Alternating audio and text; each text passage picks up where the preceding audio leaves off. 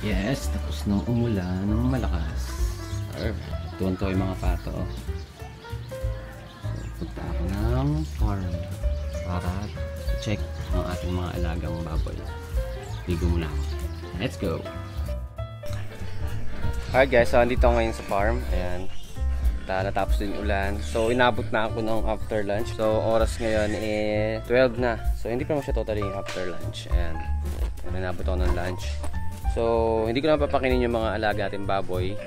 Um, papainamin ko lang sila. And again, gaya ng sinabi ko sa previous vlog natin, is hindi ko na sila pinapakain ng tanghali. Actually, ano na yata, one month ko na yata silang hindi pinapakain ng tanghali. So, ang kain na lang nila is umaga tsaka hapon. 7am in the morning tsaka 6pm in the evening. Yun lang talaga yung kain nila.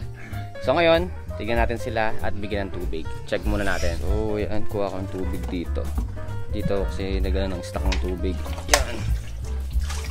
Ayan. So makikita nyo dito guys, yan, ubos na ubos yung tubig nila. Ganyan sila katakaw sa tubig kaya lumaki rin sila ng ganyan guys.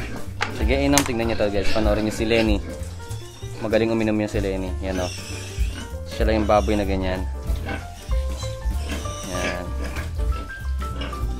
Gusto niya lagi siya nakasahod pag umiinom. Ayaw niya yung nandun sa sa kainan nila.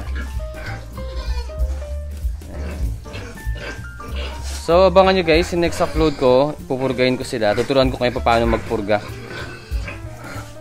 Ayan. Kaya namilom na sila. Woo!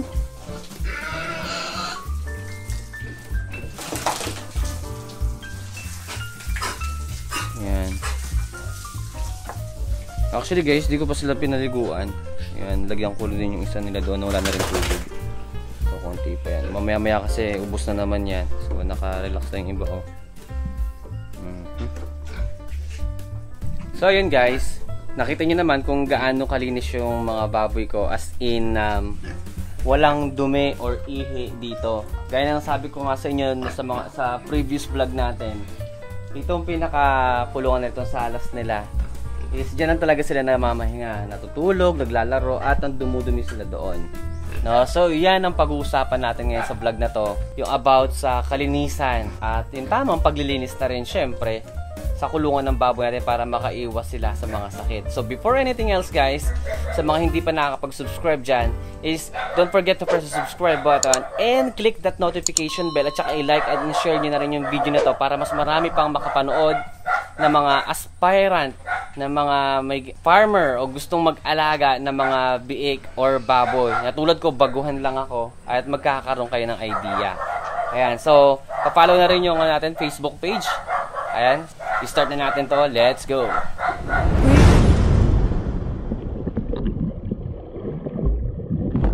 Kahit na maraming kamalasan ang abuti kunin ang mobile phone Makinig ka lang ng music and shake it Shake it, shake, shake, shake it Let's go! Alright guys, so mabalik tayo sa topic natin na ang importansya ng ano, na kung bakit napaka-importante ng kalinisan sa kulungan ng mga baboy. Nag-relax sila, nyo.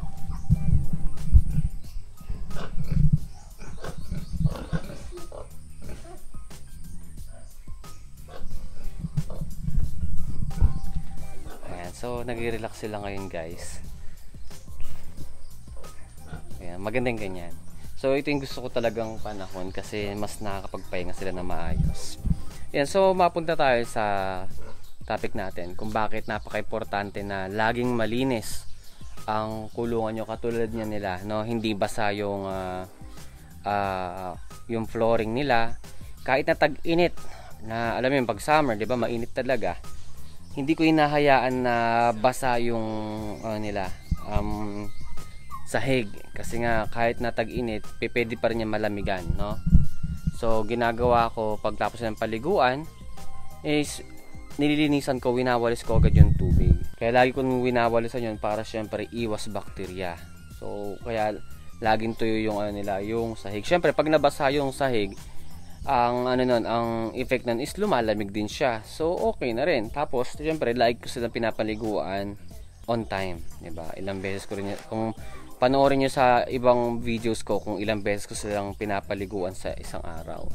So ngayon, balik tayo sa topic natin kung bakit napaka-importante ng kalinisan sa kulungan ng baboy. So unang-una, ayan, napaka-importante ng malinis sa kulungan kasi nga iwas uh, makapag ano siya to avoid uh, illness sa mga baboy natin.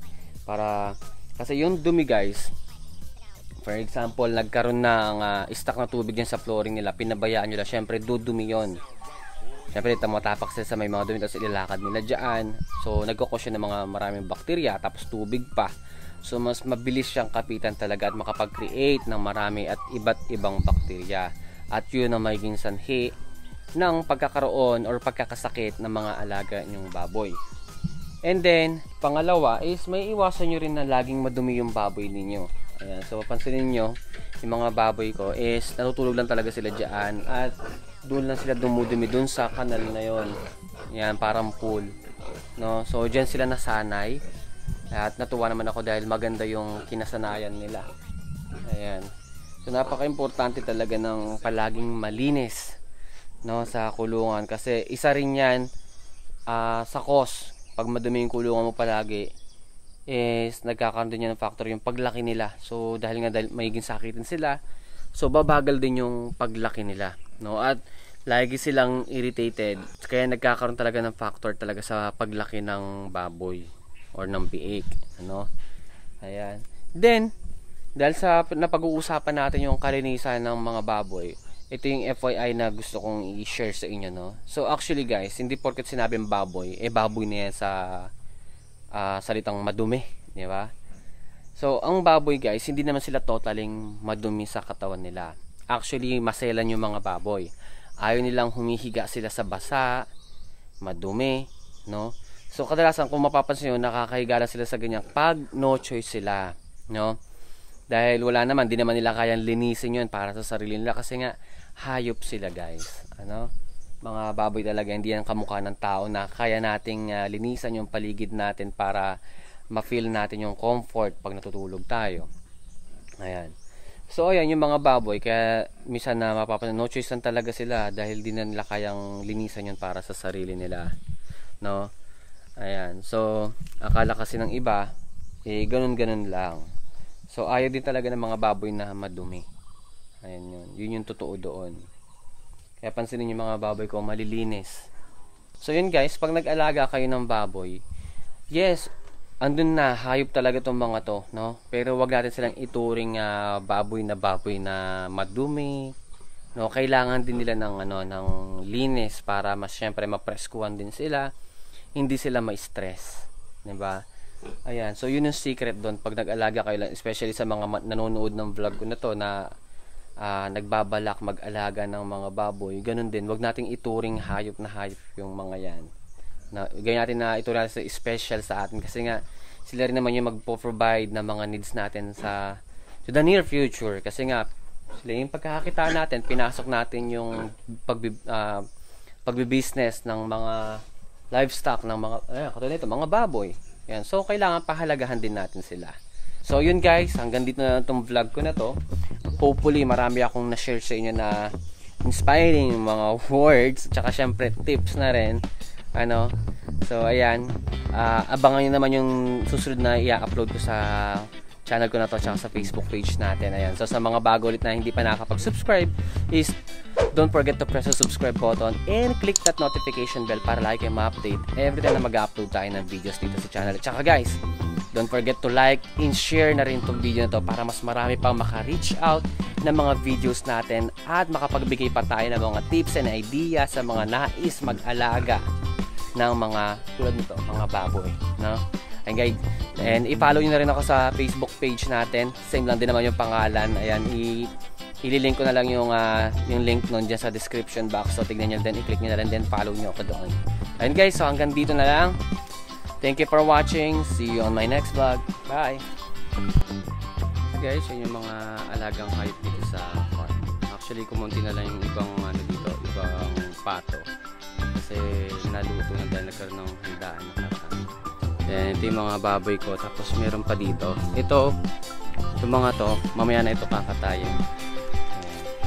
Handa, pang ano kasi ito pang handa. Yan. Yan, tatlo yan sila. Then, Guys, ito si Kamangyan. Ayan, uh, mangyan na baboy ito. Kapapanganak lang niya at ang nakakatuwa dito is napaka uh, alaga niya sa mga biik niya. Ayan o. Tapos ang dami ng anak niya. O, walo. Tatlo doon. Apat, lima. Anim, pito.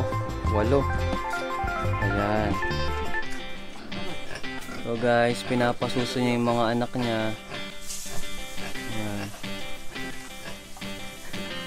Ayan ba? Maalaga talaga to si Mang yan sa mga anak niya eh.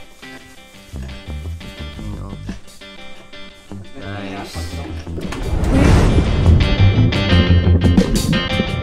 oh. Maraming kamalasan ang abuti Kunin ang woman phone Makinig ng music And shake it, shake it, shake, shake, shake it Let's go! Shake it.